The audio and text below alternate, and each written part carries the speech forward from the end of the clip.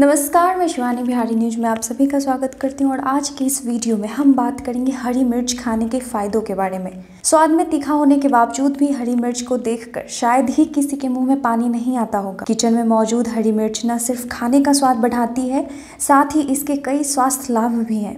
सुनकर आश्चर्य हुआ होगा कि मिर्च के भी फ़ायदे हो सकते हैं। तो मैं आपको बता दूँ कि हरी मिर्च कई तरह के पोषक तत्व, जैसे vitamin A B six C iron copper potassium protein और कार्बोहाइड्रेट से भरपूर होती है। यही नहीं, इसमें बीटा कैरोटीन क्रिप्टोक्सान्थीन लुटेन जंगस्थीन आदि स्वास्थ्यवर्धक चीज़ें मौजूद हैं। कमज़ोर इम्यूनिटी के कारण सर्दी, जुकाम एलर्जी या शारीरिक कमज़ोरी की समस्या हो सकती है। ऐसे में हरी मिर्च का उपयोग इम्यूनिटी सिस्टम को सुधारने में फ़ायदेमंद हो सकता है। हरी मिर्च में vitamin A vitamin C iron potassium और मैग्नीशियम जैसे पोषक तत्व तो पाए जाते हैं, जिसकी वजह से हरी मिर्च में पाए जाने वाले ये पोषक तत्व तो इम्यूनिटी सिस्टम को बढ़ाने में फ़ायदेमंद होते हैं। हृदय को स्वस्थ रखने के लिए हरी मिर्च का उपयोग किया जा सकता है। हरी मिर्च में कैप्साइसिन नामक कंपाउंड पाया जाता है, जो मिर्च को तीखा और स्वास्थ्यवर्धक बनाता है। यह कंपाउंड हृदय रोगों की समस्या को दूर करने और हृदय को सुरक्षा प्रदान करने में फ़ायदे फ़ायदेमंद होता है। रक्त में ग्लूकोज का स्तर बढ़ने पर डायबिटीज़ की समस्या हो सकती है। इस समस्या को दूर करने के लिए हरी मिर्च फ़ायदेमंद हो सकता है। हरी मिर्च में कैप्साइसिन नामक कंपाउंड होता है, जैसा कि ऊपर मैंने बताया है। कैप्साइसिन नामक कंपाउंड में एंटी डायबिटिक गुण पाया जाता है। यह गुण मधुमेह को कम करने में मददगार होता है। हरी मिर्च एंटीऑक्सीडेंट गुणों से भरपूर होता है। एंटीऑक्सीडेंट का प्रभाव ऑक्सीकरण को रोक सकता है।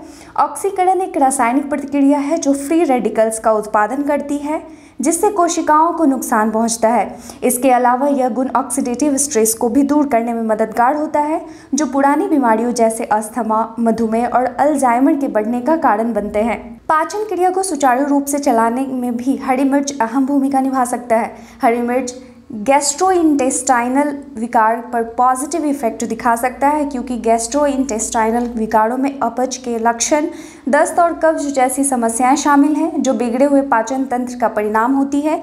मिर्च में केप्साइसिन कंपाउंड पाया जाता है। केप्साइसिन गैस्ट्रोइंटेस्टाइनल की समस्या को दूर करने में मददगार होता है। मोटापे के कारण स्वास्थ्य संबंधी कई समस्याओं का सामना करना पड़ सकता है। आपको जानकर हैरानी होगी कि हरी मिर्च का उपयोग मोटापे की समस्या से छुटकारा दिलाने में फ़ायदेमंद होता है।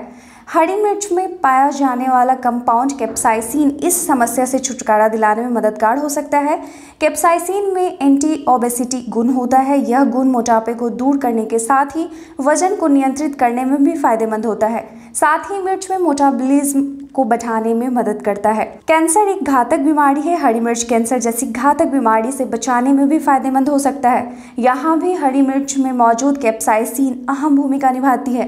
कैप्साइसिन एक कारगर एंटी कैंसर के रूप में काम कर सकता है। यह सिर्फ़ कैंसर से बचाने में कुछ हद तक मदद कर सकता है। कैंसर की रोकथाम के लिए डॉक्टर द्वारा दिया गया ट्रीटमेंट ही ट्रीटमेंट ही फ़ायदेमंद होगा। त्वचा के लिए भी हरी मिर्च के फ़ायदे कई हैं। हरी मिर्च, विटामिन सी जैसे एंटीऑक्सीडेंट से भरपूर होता है, जिसे त्वचा के स्वास्थ्य के लिए खास पोषक तत्व माना जाता है।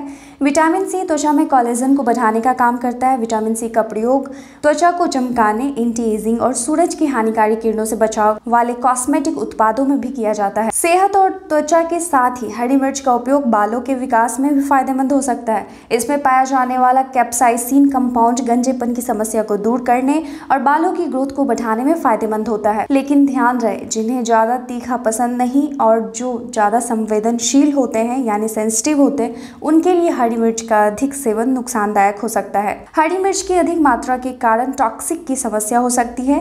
कुछ हरी मिर्च बहुत ज़्यादा तीखी होती है जो मुँह में अधिक जलन पैदा कर सकती है। आज के वीडियो में बस इतना ही। फिर मिलेंगे नई वीडियो में नई जानकारी के साथ और हम आशा करते हैं कि हरी मिर्च से संबंधित हमारा यह वीडियो आपको अच्छा लगा होगा। अगर आप किसी विषय पर हमसे कुछ और पूछना चाहते हैं तो हमें आपके सवालों के जवाब देने में खुशी होगी। आप हमें अपने सवाल कमेंट बॉक्स में लिख सकते हैं। धन्यवाद।